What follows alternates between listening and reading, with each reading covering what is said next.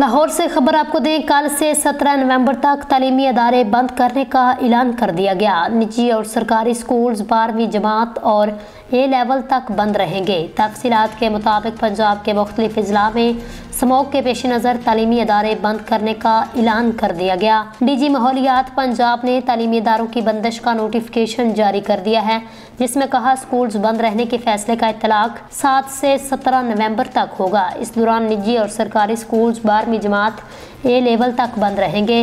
Notification में कहा गया, तमाम स्कूल्स ऑनलाइन क्लासेस पर मुंतकिल होंगे। फैसले का इतलाक लाहौर, शेखुपुरा, कसूर, ननकाना साहब पर होगा। नोटिफिकेशन में बताया गया, गुजरावाला, गुजरात, हाफिजाबाद, मंडी बहावलदीन, सियालकोट, नारोवाल, फैसलाबाद, चनियाट, जंग टोबा टेक सिंह, मुल्तान, लोधरा, विहाड़ी, खानेवाल में भी स्कूल्स बंद रहेंगे।